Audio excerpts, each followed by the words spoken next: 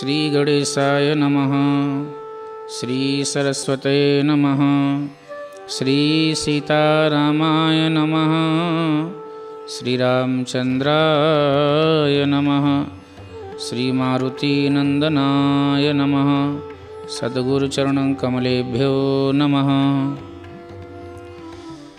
परम प्रिय सौभाग्यवती माताएँ एवं बहनें, समस्त पूज्य विप्रगण आचार्यगण एवं संतगण। बड़े आनंद की बात है।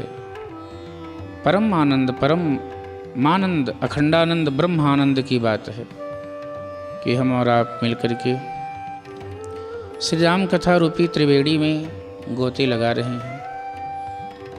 श्री राम कथा रूपी त्रिवेणी हम सबको आनंदित कर रही है, आह्लादित कर रही है, परम आनंद दे रही है।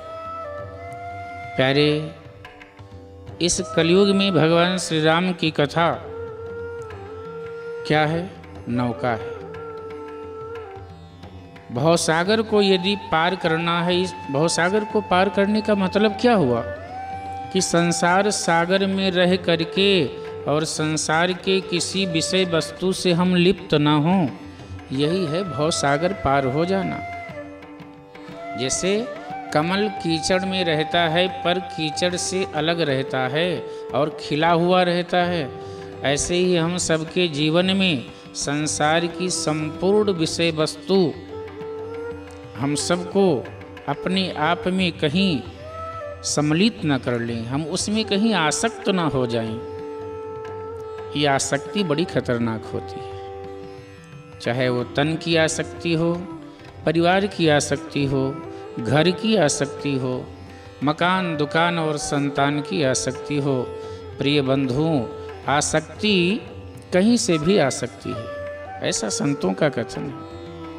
हमारे सदगुरुदेव यही कहा करते हैं कि भैया आसक्ति से बहुत बच के रहो। ये दसों दिशाओं से कहीं से भी घूम के आपके ऊपर आक्रमण कर सकती है। इसलिए, भव सागर चह पार जो पावा राम कथा ता कहाँ दृढ़ नावा। भवसागर यदि पार करना है तो राम कथा नौका है। नौका में बैठ जाओ, इस पार से उस पार पहुँच जाओ प्रेम के साथ में। तो बाबा तुलसी जी, हमें श्री राम कथा रूपी नौका में बिठा के उस पार पहुंचाना चाहते हैं। प्यारे बाबा तुलसी जी, प्रारंभ में श्री राम कथा जब प्रारंभ करते हैं तो पहले स्तुति करते हैं गणपति और सरस्वती जी की। तो बड़ा सुंदर श्लोक है मंगलाचरण है। मंगलाचरण कोई भी कार्य प्रारंभ करो, उसके पहले मंगलाचरण अवश्य होना चाहिए। मंगलाचरण क्या है? शास्त्र की विधि है, मंगलाचरण प्रथम होना चाहिए और मध्य में होना चाहिए और अंत में होना चाहिए।